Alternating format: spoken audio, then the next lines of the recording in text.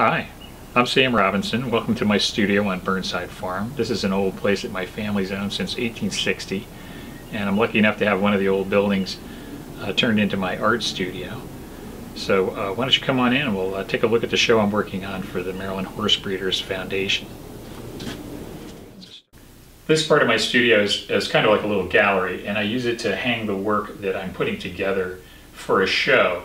So, so far we have about 30 pieces, paintings and drawings that are uh, starting to come together.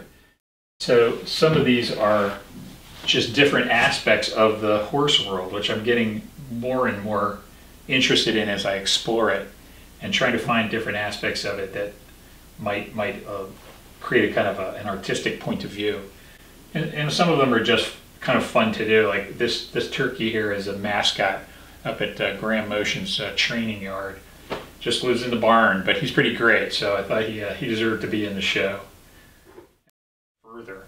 So I uh, got introduced to some people, in particular Cricket Goodall and the Maryland Horse Breeders Association and, and kind of all the connections from there, and uh, she and others have very generously introduced me to a whole other part of the horse world. So I've been spending more and more time looking into that. We, we hatched the idea for this show, which is to benefit the uh, the Horse Industry Foundation.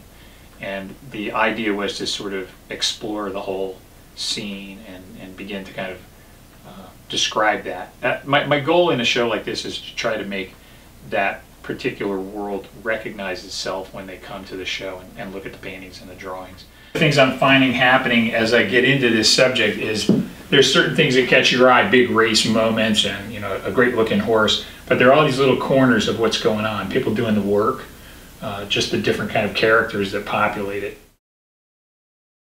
One of the things I've sort of uh, come to understand is that we have a tremendous amount of people who are great photographers that really cover this subject, and it's really their job to get the detail, and they, you know, they, they're looking for that specific moment and that kind of sharp detail or, or an action shot frozen. But to me, that's not what an artist uh, is about. Um, maybe in the past that was something that an artist needed to do, but nowadays we don't really need to do that. So our role is more to kind of get the feeling of the thing, try to try to get the spirit of it, try to get the uh, the flavor, and and in order to accomplish that, I use a looser style. So my brushwork is a little more uh, kind of quick and bold, uh, kind of let the colors be more expressive. Try to get a sense mostly of the light I've always started thinking of the show as kind of one big continuous scene that we're just seeing different parts of through various windows that are the picture frames. It's almost like, you know, one thing connects to the other. Go from one part of the track to the other, you go from, you know, go from the farm, you know, out, out to a different venue and you know, this person might show up here, the same horse might turn up in another picture. It's, it's kind of all like a continuum that I'm uh, kind of finding bits and pieces of to show to you.